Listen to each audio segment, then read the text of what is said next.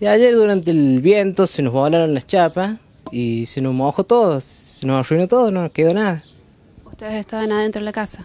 No, nosotros, yo me encontré trabajando y estaba en la casa de la madre. Yo cuando volví ya se había pasado todo, así que los vecinos me ayudaron a buscar las chapas, otra vecina también. Así que no, no nos quedó nada, lo que poco que sacamos fue la ropa y las cosas, el colchón se nos mojó, se nos arruinó, se nos cayó el techo encima, así que... Así que están sin techo, sin ropa.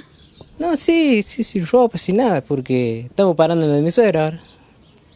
La municipalidad estuvo trabajando por esta zona. ¿Ustedes tuvieron respuesta? Sí, dijeron que iban a llegar, pero todavía estamos esperando, así que esperemos que lleguen. Habían dicho que iban a venir hoy, hoy dijeron que iban a venir mañana ahora. Así que, ¿qué espera? ¿Qué necesitarían, Jonathan, si la municipalidad no los ayuda? Y más que todos los muebles, eh, la cocina, porque no, no nos queda nada, ¿viste? Como verás.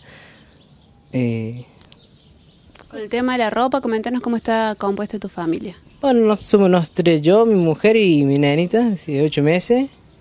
Y no, nosotros con el tema de la ropa no hay problema porque nosotros le llevamos y le lavamos en la casa de mi suegra y quedó de vuelta, pero en el tema de los muebles se nos arruinó todo, no nos queda nada.